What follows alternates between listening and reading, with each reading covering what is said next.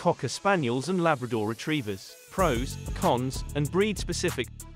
Even though they are high-energy canines, Cocker Spaniels don't need as much daily exercise, say, Labrador Retrievers. They enjoy going for walks and playing in the yard, but they don't require strenuous activity to be happy.